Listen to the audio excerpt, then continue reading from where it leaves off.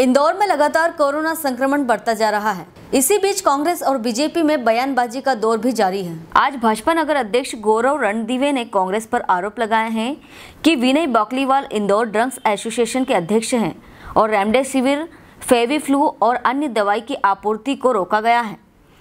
इसमें कांग्रेस अध्यक्ष और संजय शुक्ला का षड्यंत्र है। कुछ दिन पहले इसकी आपूर्ति थी। यह एकदम से कैसे कम हुई, इसका जवाब दे। वहीं भाजपा नगर अध्यक्ष ने कहा कि यह वही संजय शुक्ला है जो चार पैकेट खाने के लेकर चले जाते हैं। झूठी आत्मदाह की धमकी देते हैं। इंदौर से ब्यूरो राकेश सच्चर के साथ सतीश शर्मा की रिपोर्ट। उसको उसको लेकर आप क्या कहेंगे? कितनी सच्चाई है या सिरे से खंडन करते हैं उसका? कि मैं सिरे से खंडन करता हूँ इस चीज़ का।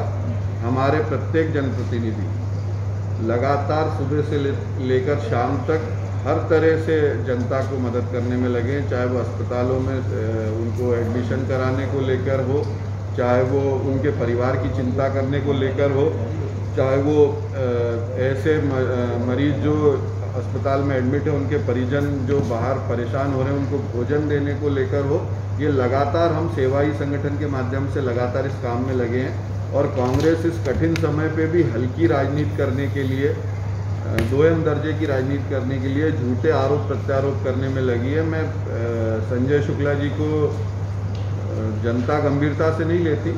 आप लोग भी नहीं लें और आपके माध्यम से मैं कहना चाहूँगा कि ये मुझे तो लग रहा था कि कोरोना की बीमारी चल रही है तो लगातार सब लोग उसमें मिलके हम लोग एकजुटता से काम करना चाहिए। मगर मुझे लगता है संजय शुक्ला जी को कहीं ना कहीं दिमाग की बीमारी हो गई है। उनको अपना इलाज कराना चाहिए। क्या अलग प्रसंग सामने आया था जिसमें कांग्रेस के विधायक संजय शुक्ला। उन्होंने साफ़ तौर पर नाम लेकर आरोप लगाया है कि भाजपा के जो नेता हैं और भाजपा के इंदौर प्रभारी मंत्री हैं, उनके द्वारा जो इंजेक्शन है, उसकी सप्लाई की जा रही है, कालाबाजारी की जा रही है स्टॉक किया जा रहा है। मैं आप लोगों के माध्यम से और आपके सबके चैनल के माध्यम से उन पे ये आरोप लगाता हूँ कि संजय शुक्ला, विनय बाकलीवाल विनय बाकलीवाल खुद ड्रग एसोसिएशन के अध्यक्ष इंदौर ये जो इंदौर में चाहे रेमडेसिविर हो, चाहे फेबिफ्लू हो, चाहे अन्य दवाइयाँ हों, इसकी जो आपूर्ति को रोका गया है, कहीं ना कहीं मुझे लगता है कि ये कांग्रेस का और उनके अध्यक्ष और संजय शुक्ला इन लोगों का षड्यंत्र है। कुछ दिन पहले ये बहुतायात में इंदौर में थी। एकदम से कम कैसे हो गई? मैं आपसे, आपके चैनल के माध्यम से उनसे पूछना चाहता हूँ कि वो ये जवाब दें। दूसरा, ये वही संजय शुक्ला हैं जो कुछ दिन से अभी कहीं चार पैकेट खाने का लेके चले जाते हैं। झूठी आत्मदाह की धमकी देते हैं या ऐसी बातें करते हैं उनके माध्यम से या उनकी पार्टी के माध्यम से। कोई एक भी ऐसा काम किया गया हो जो इस आपदा काल में, इस कोरोना काल में जनता को राहत पहुँचाने वाला हो तो वो गिनाए झूठे आरोप, प्रत्यारोप, इस तरह की हल्की राजनीति करना ये कांग्रेस का स्वभाव है। मैं उनको ये सलाह देना चाहता हूँ कि इस महामारी के समय भी इतनी डर्टी पॉलिटिक्स करके जनता सब जानती है। कौन जनता के लिए सुख दुख में खड़े होकर काम कर रहा है और कौन जनता का उपयोग करते हुए राजनीति कर रहा है ये जनता को।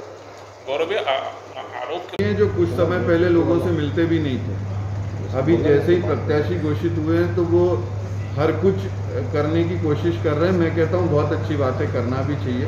मगर हमारे करने से कुछ ना कुछ जनता का भी फ़ायदा होना चाहिए। सिर्फ़ करने के लिए नकारात्मकता की राजनीति करना। बहुत दिन आपने एक टोल फ्री नंबर जारी किया।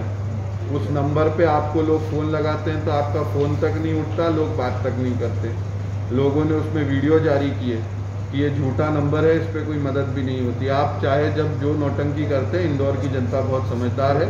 आप छः से सात हज़ार रजिस्ट्रेशन किए। और आपके यहाँ से जब वो बात बात होती है तो दुर्व्यवहार करते हैं। मास्क बांटने की बात करते हैं सैनिटाइज़र बांटने की बात करते हैं बांटते दिखते नहीं हैं। चार खाने का पैकेट हाथ में लेके खड़े हो जाते हैं और लोगों को इस समय जिन राहत की ज़रूरत है उसके लिए सामूहिकता से हम सब प्रयास कर रहे हैं। मैं फिर उनसे आग्रह करूँगा कि इस समय इस तरह की दोयम दर्जे की राजनीति घटिया राजनीति करके ना शहर के हित में है, ना उनके हित में हेलो फ्रेंड्स आप देख रहे हैं हमारा channel S W twenty four news हमारे सारे वीडियो सबसे पहले देखने के लिए आप हमारे चैनल को सब्सक्राइब करें और पास में लगे बेल आइकन को दबाना बिल्कुल भी ना भूलें।